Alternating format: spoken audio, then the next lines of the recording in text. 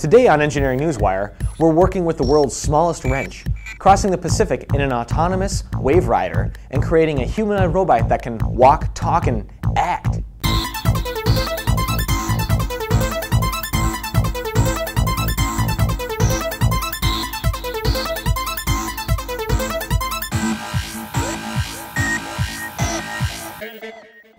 The PacX glider, Papa Mau, just completed its journey of 9,000 nautical miles across the Pacific Ocean, setting a new world record for the longest distance traveled by an autonomous vehicle.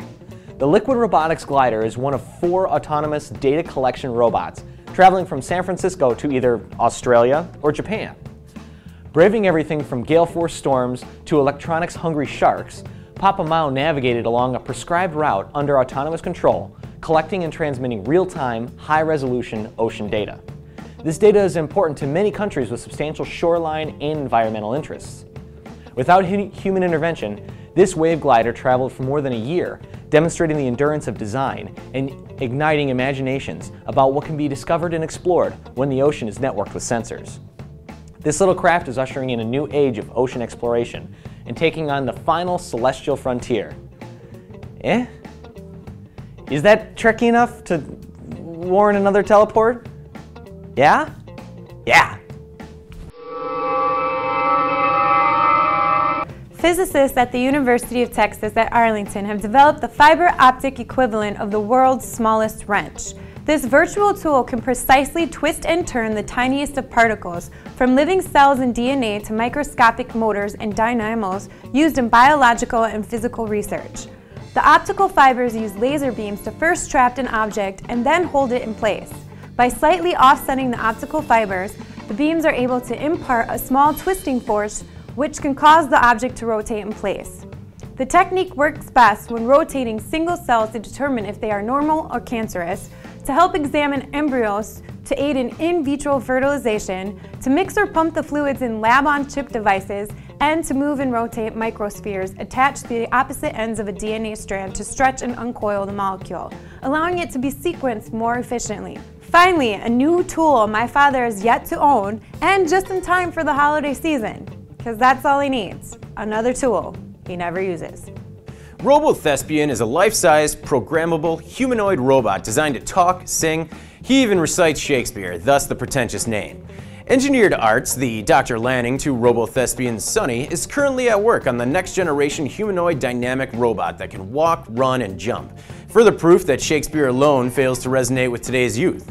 Playing a critical, critical role in the modeling and design of RT's Balance and Walking Act is MapleSoft's MapleSim 6 software, which is being used to design a biologically analogous humanoid robot leg by integrating a novel actuator, studying its static and dynamic stability, and building the leg to determine strategies for its control. Just check out this animation that shows the single leg hopping. The complex model was generated in MapleSim 6 and shows seven interdependent muscles being controlled to produce the hopping motion.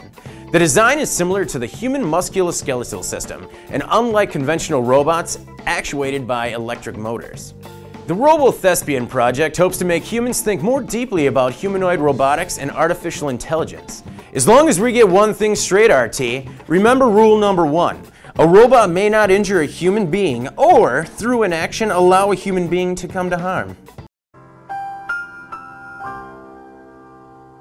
California-based Aeros has almost completed its dirigible airship prototype. This new breed of variable buoyancy aircraft promises to revolutionize airship technology with its new cargo handling technology, minimal fuel consumption, vertical takeoff and landing, and point-to-point -point delivery.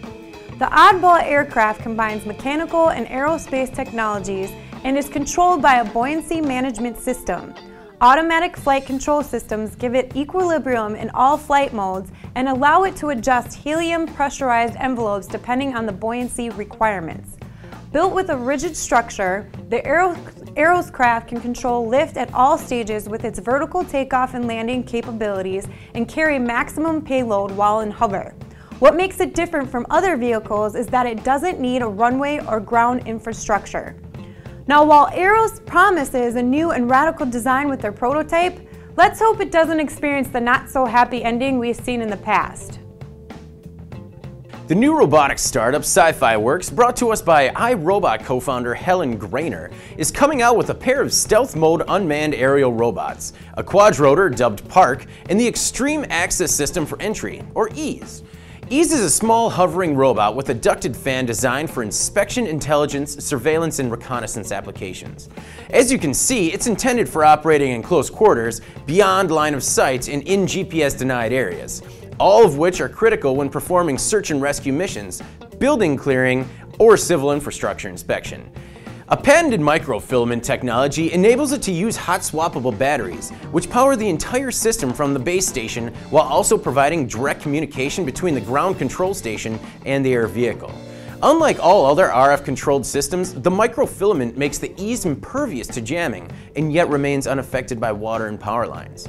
Because of the direct connection, its communications cannot be intercepted, spoofed, or otherwise compromised from a data security perspective. From an autonomous vacuum cleaner to a civil defense unmanned area vehicle? Not bad, Ms. Greiner. Not bad at all. Do you have story ideas? Comment below and we'll cover them in an upcoming episode. For PD&D TV, I'm Chris Fox, and this has been your Engineering Newswire.